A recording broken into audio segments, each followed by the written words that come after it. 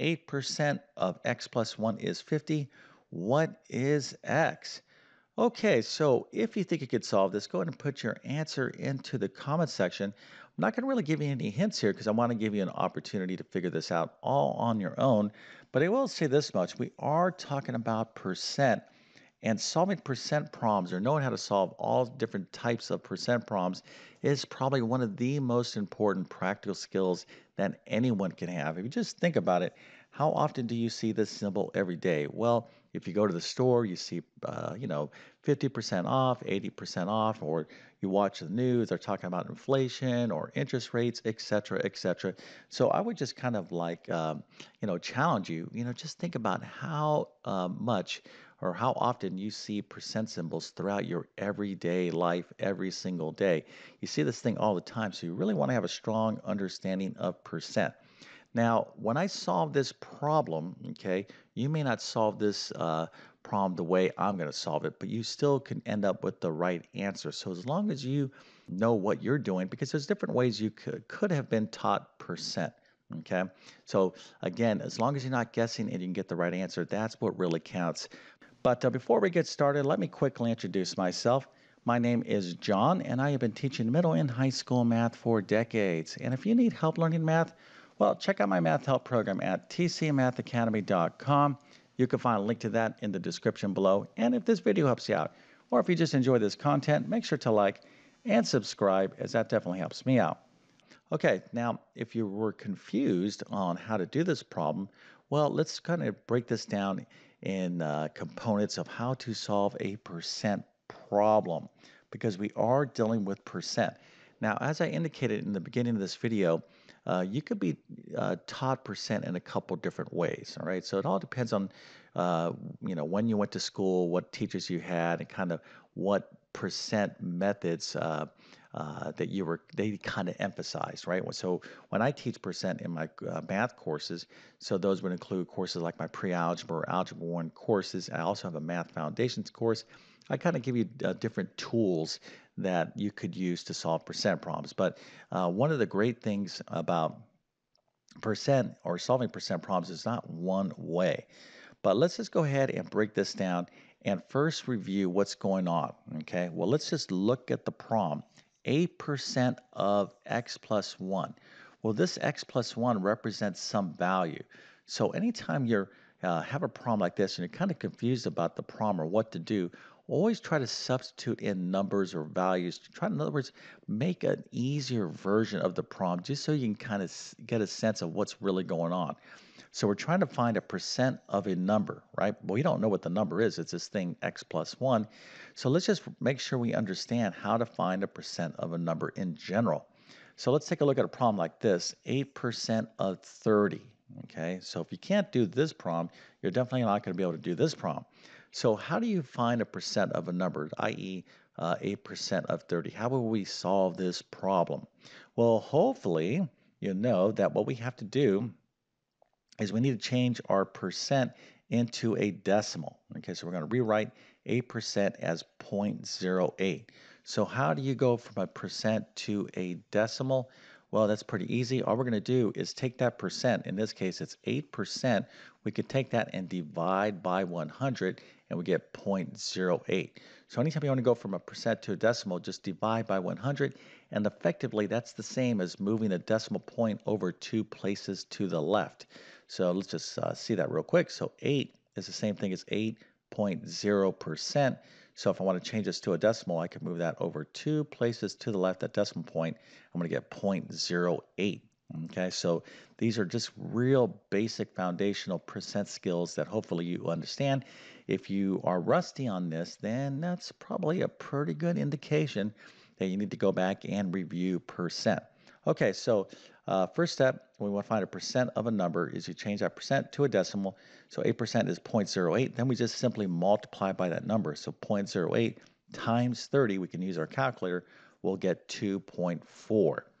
All right, so knowing that, if we want to find 8% of this number, okay, this number we don't know exactly what it is, it's expressed as x plus 1, we're basically going to follow the same pattern here, but we have some additional information right there as well. So let's go to tie that all in. And the way I'm going to suggest you do percent problems uh, that are a little bit more involved is to use algebra. Okay, set up a basic equation. It's not that difficult. Let me show you exactly what I'm talking about right now. Okay, so we're going to just translate this sentence into a nice little lovely algebraic equation. 8% of x plus 1 is 50. All right, so I need to find a percent of this number here. So 8%, I know I'm going to have to convert that to a decimal, so that's 0.08. So 8% of this number, x plus 1. How do I find a percent of a number? Easy, I just take this as a decimal and multiply by that number. So this is going to be 0.08 times this number x plus 1. Right, so 8% of x plus 1 is the same thing as 0.08 times x plus 1. And this is, anytime you see this word is in mathematics, it's always the equal sign. Okay, so this whole thing is or is equal to, so we're going to put an equal sign, 50. All right, so let's make sure we understand this. 8% of x plus 1 or 0.08 times x plus 1 is or is equal to uh, 50. And what we have right here is a nice uh, basic algebraic equation that hopefully you know how to solve. All right, so here at this point, if you were confused on how to set this up, the second stage of this problem is your skills, your ability to solve uh, this equation. Now, this problem is going to be pretty difficult to do without setting up some sort of algebraic equation. So even though I said that, hey, there's a couple different approaches to solve percent problems, this particular problem, you will need to have set up some sort of equation. All right, so here we have 0.08 times x plus 1 is equal to 50. We're focusing in on what x is equal to. So we need to solve this equation for x. So the first thing we need to do is to do uh, the distributive property. Okay, we have a number outside of a sum or difference where the variable's at. So we're going to take this 0.08, multiply it by x. We're going to get 0.08x. But we also need to take this 0.08 and multiply by 1. 0.08 times 1, of course, is 0.08. So that's the first thing we need to do. So 0.08x plus, point, um, uh, plus 0.08 is equal to 50. All right, so what do we need to do next? Well, uh, the next thing we need to do is subtract 0.08 from both sides of the equation. All right, so remember, when you're solving an equation, we want to have all our variables on the left and all of our numbers on the right.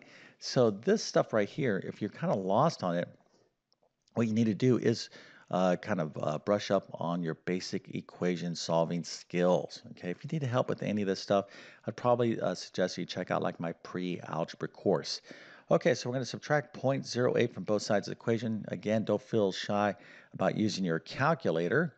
And when we do this, right, we're going to uh, be end up with, and actually make sure you write it out this way as well. Okay, show your steps. We're going to subtract 0.8 from both sides of the equation. So you're kind of adding down in a column manner.